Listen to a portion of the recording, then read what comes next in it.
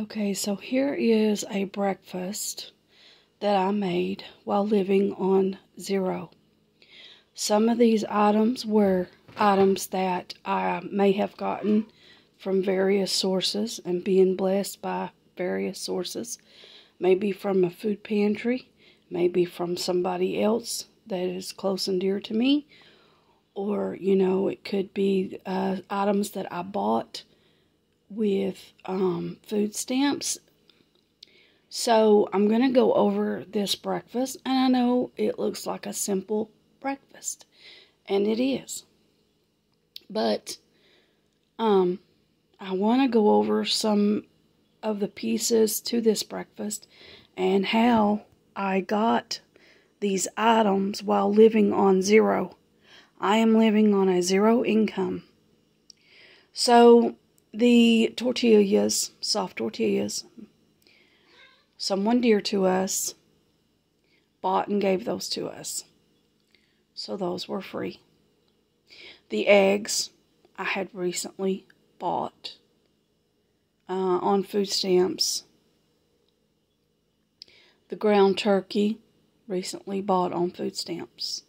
The little peppers cut up, those were given to us uh, by someone dear to us who donated or gave the soft tortillas.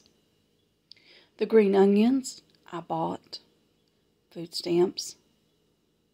The cheese blend on mine was also given by the same person because one day he had made a dinner and these items were left over.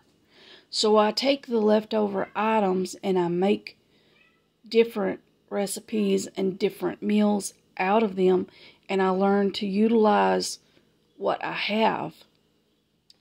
And the coffee today, it is Gevalia and that was bought and given to us.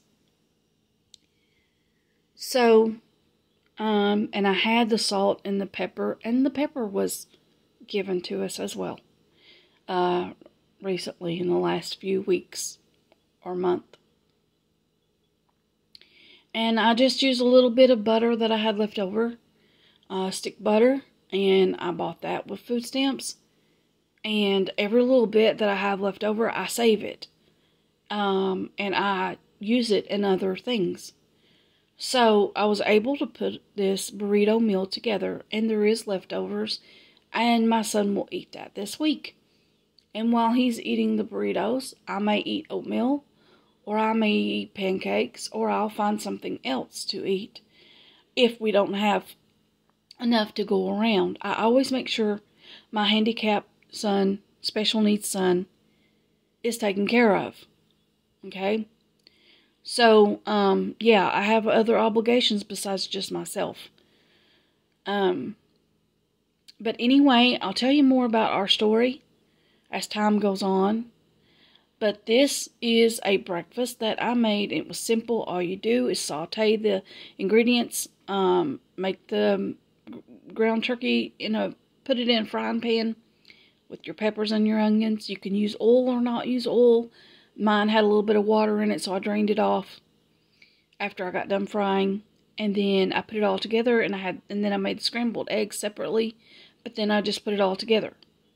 Now, some people make it like an omelet style and then uh, wrap it all together, which is fine. You could even use the omelet as your tortilla if you are a diabetic and you can't have the carbs in the tortilla shell.